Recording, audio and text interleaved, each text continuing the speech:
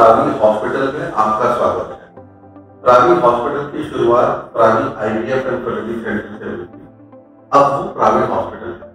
बस मैं आपको ये बताऊँगा कि हमारे हॉस्पिटल में क्या क्या चीज़ें पूरी लगन और पूरी तत्परता के साथ सबसे पहला जिस वजह से हमारी पहचान है, वो है IVF in vitro fertilisation Pravi IVF and fertility centre की कंटिन्यूएशन में हम लोग यहाँ पर भी एक उच्च स्तरीय, एक इंटरनेशनल लेवल की आईवीएफ लैब के साथ में यहाँ पर आईवीएफ का प्रोसेस करते हैं। इक्सी इंट्रासाइटोप्लाज्मिक रिस्पॉन्सिशन आईवीएफ का ही एक पार्ट है।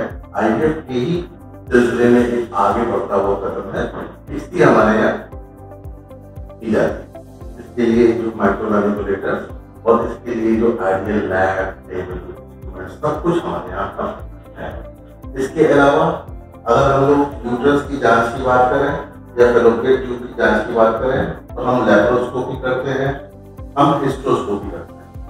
ये भी आईवीएफ के पहले के कुछ प्रोसीजर्स होते हैं, जो कुछ पेशेंट्स पे ज़रूरी होते हैं। सेक्शन जब सिजेरियन सेक्शन डिलीवरी करते हैं तो आईवीएफ के केस में हम लोग को कई बार ऐसा देखना पड़ता है कि प्री मैच्योर डिलीवरी हो गई। तो प्री मैच्योर डिलीवरी से निपटने के लिए हमारे पास एक विश्व स्तरीय एनआईसी।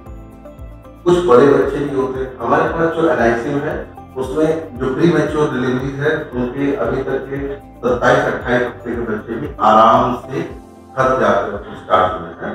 तो बिल्कुल एकदम हाई क्लास एनआईसी हम लोग के सेप्सिस के साथ में मेंटेन करते हैं।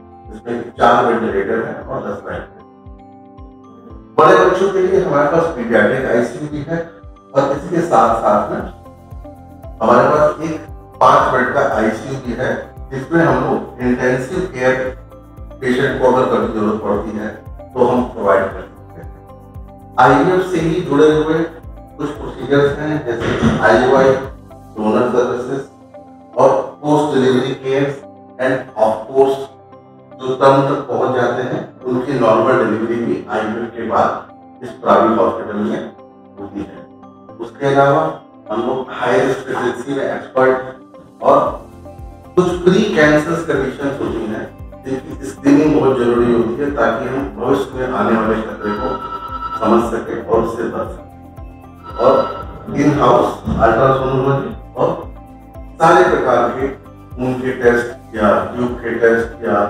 कोई भी उनसे रिलेटेड कोई भी जाँच करनी होती है तो वो प्राइवेट उम्मीद है दोस्तों, अगर आपको उससे कोई बात करनी है के बारे में पूछना है तो आप मुझे फ़ोन करके नीचे दिए नंबरों पर बात कर सकते हैं। धन्यवाद।